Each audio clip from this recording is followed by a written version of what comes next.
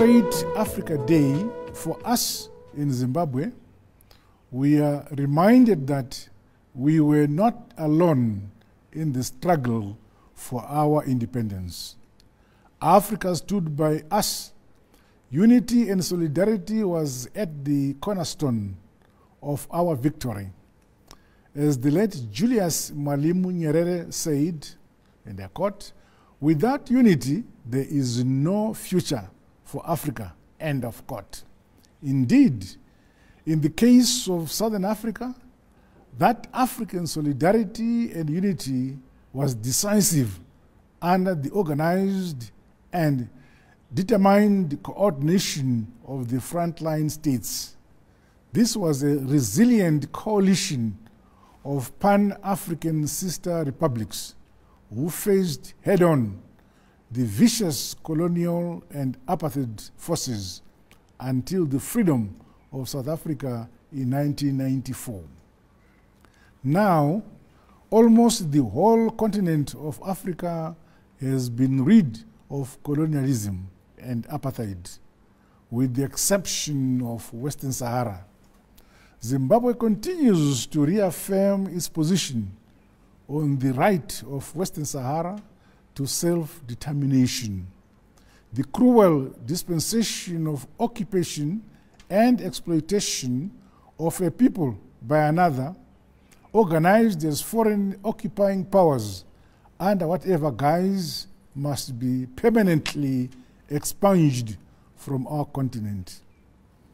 As we celebrate Africa Day, we are jubilant that the vision of our founding fathers has been by and large realized, kept, and is jealously defended. Above all, that vision continues to be elaborated upon, notably through Agenda 2063, which envisions an economically integrated continent of Africa, which will be a global powerhouse by 2063.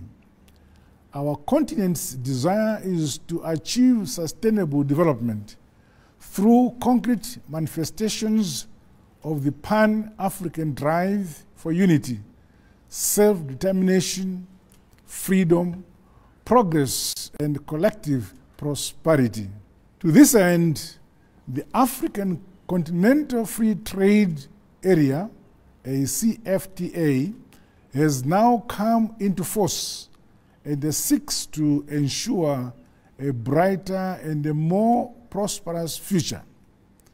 It is therefore imperative for us to scale up our integration and cooperation at all levels in our quest to realize food security and to mitigate the impact of climate change and the ever increasing threats posed by disease outbreaks. Conscious of Agenda 2063, we must continue to explore and exploit our vast natural resources, the value addition and the beneficiation of our various resource endowments must be harnessed to modernize and industrialize Africa's economies.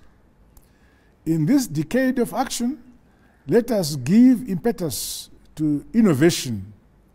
We must drive all facets of socio-economic development, leveraging on science, technologies, as well as our rich heritage, history, and cultures.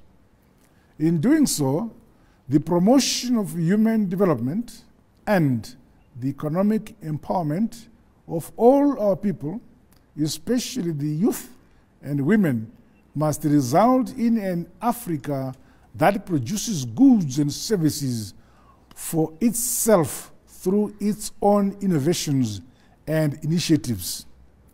The realization of sustainable development and the great vision of an improved standard of living for our people must remain a top priority.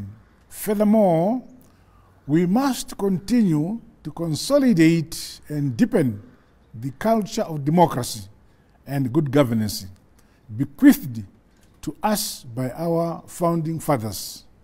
We cannot be taught democracy by those countries which unleashed colonialism against us. We are our own liberators.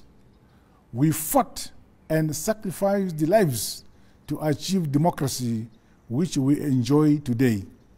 Let us never shy away from expressing our rich cultural heritage, language, and unique identities. The African diaspora remains an integral and inseparable part of us. Their skills and competencies must be harnessed for the good of the continent. This was the great vision of the luminaries of our great continent. Here in Southern Africa, we continue to make rapid strides towards regional integration under the auspices of SADC.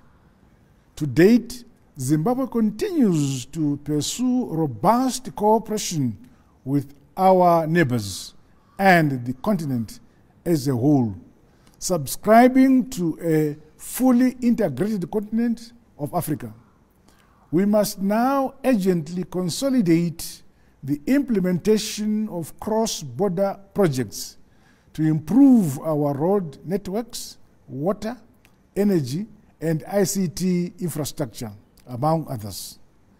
This will inevitably accelerate multifaceted sustainable development in the region and on the continent. Fellow Africans, Despite the strides made to date, our continent is still beset by multiple challenges, with guns still to be silenced in some parts of Africa. In addition, new existential challenges such as terrorism threaten the peace, security, and stability of the continent. Recently, the extraordinary SADC organ Troika Summit met to address this very scourge which has caused grave suffering.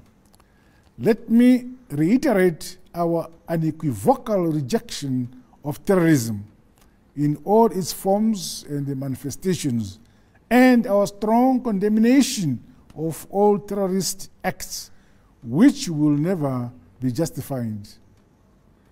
Zimbabwe remains committed to play its part in all regional and continental initiatives as our modest contribution towards a prosperous and peaceful world order. Meanwhile, neo-colonialism still raises its ugly head with some Western countries unashamedly meddling in the internal affairs of countries on our continent. Zimbabwe is no stranger to this unwarranted interference. We continue to endure illegal sanctions and punitive measures imposed on us as punishment for reclaiming our land, itself a key act of concluding the decolonization process. However, we are buoyed by the fact that we have reunited with our land which is now irreversibly reposed into our hands, we its true owners. As we commemorate and celebrate the unity of our continent, we in Zimbabwe deeply thank our SADC region and the whole continent of Africa for standing with us. Africa has rejected and denounced the sanctions against Zimbabwe and the Sudan urging those responsible for these illegal, heinous measures to immediately lift them without conditionalities. They are illegal, unjust, spiteful, and undeserved. Above all, they go against the grain and the spirit of civilized international relations as espoused in the United Nations Charter. We reiterate that sanctions have no place in modern international relations. Fellow Zimbabweans and fellow Africans, Today we face a new and invisible threat to Africa and the world, that of the COVID 19 pandemic. While Africa still has comparatively low levels of infections, this virus is a grave existential threat and an attack on every facet of our lives and economies as a continent. We must therefore continue with the concerted efforts towards a continental response and a united global response under the World Health Organization. COVID 19 knows no borders, hence, our response both on the continent and beyond must reflect this undeniable reality.